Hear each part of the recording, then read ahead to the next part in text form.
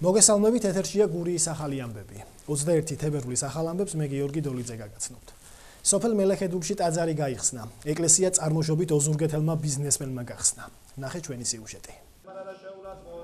ოზურგეთის მუნიციპალიტეტის სოფელ მელექედურში იოანე ნათლისმცემლის სახელობის ტაძარი გაიხსნა. საზეიმო წირვა შემოქმედებმა მიტროპოლიტმა იოსებმა აღავლინა. სოფელში ტაძრის გახსნას ადგილობრივი მოსახლეობა პოზიტიური განწყობით შეხვდა.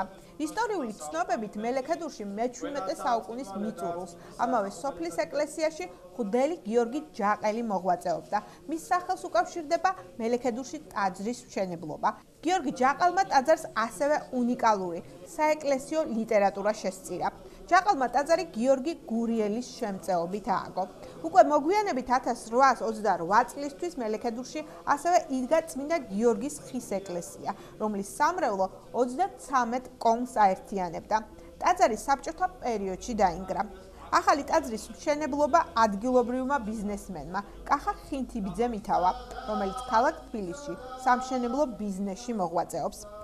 მელექედურში აგებული ახალი ტაძრის მოძღვარი მამა ერმალაოსი ჭელიძე იქნება.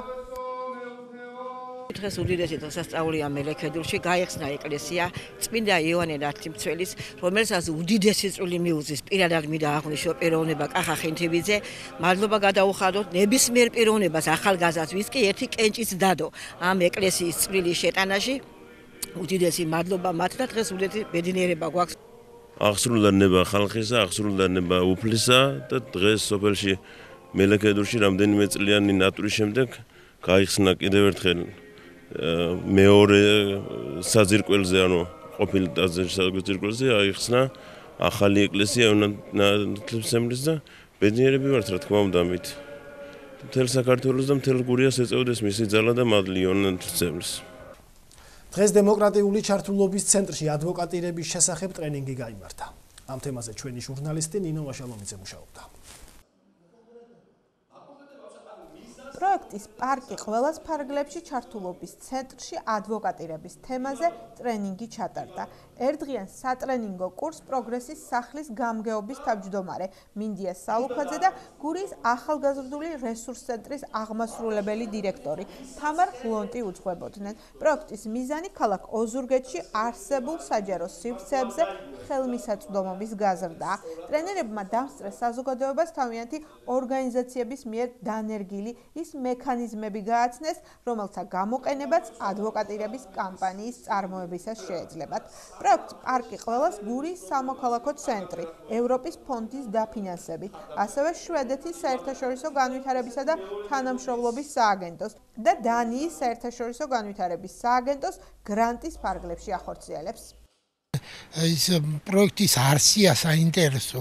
სივრცე ჭირდება ქალაქს. დიდი სივრცე და განაშენიერება კარგი უნდა იყოს და კეთილმოწყობილი. ახალგაზრდებმა უნდა ცელკონ ირბინონ პარკი დაისვენონ.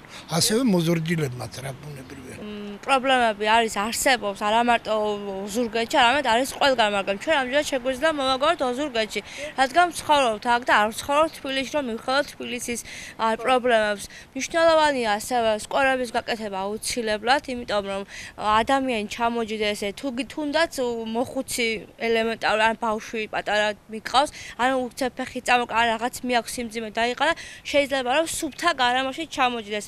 ეს იმას ანიშნავს, როდესაც სკვერი სიტყვაზე აშენდება ხდება გძირს ნაგავი უნდა დავყართ უნდა დავჟეთ სუფთა და საჯარო სივრცეები არის ერთ-ერთი ყველაზე მნიშვნელოვანი ნაწილი და განსაკუთრებული ადგილი უჭირავს აქ პარკებსა და სკვერებს. როგორც ჩვენ ფოკუს ჯგუფების დროს ძალიან სწორად აღნიშნეს მონაწილეებმა, ძალიან მნიშვნელოვანია თითოეული მათგანისთვის, ნებისმიერი ასაკის ადამიანისთვის პარკის ახლოს ქონა.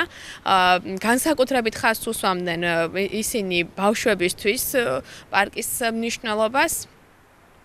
თუმცა ასევე აღსანიშნავია რომ არანაკლებ მნიშვნელოვანია ის სხვა ასაკის მქონე განსაკუთრებით ხანდაზმული ადამიანებისთვის.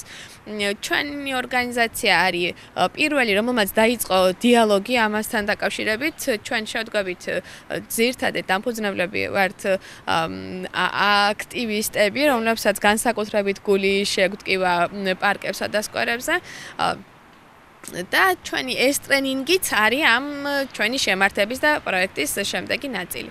ამ ტრენინგის შემდეგ მიღებული ცოდნით მოქალაქეები უკვე დაიწყებენ ადვოკატირების კამპანიას და გამოავლენენ იმ ადგილებს, რომელსაც განსაკუთრებით მნიშვნელოვანია პარკის და სკვერის ქონა.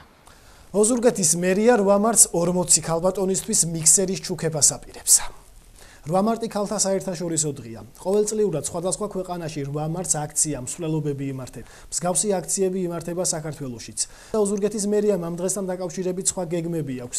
უწყება საკუთარი ღონისძიების ორგანიზებისთვის 11460 ლარის დახარჯვას გეგმავს, რომლის ფარგლებშიც ქალებს სასაჩუქრე ბარათებსა და მიქსერებს დაურიგებენ. ღონისძიება კონცერტის გამართვასაც ითვალისწინებს. ასეთი გახლავთ დღევანდელი საინფორმაციო გამოშვება. ახალი ამბებით, ხვალამდე გემშვიდობებით, მადლობთ ყურადღებისთვის.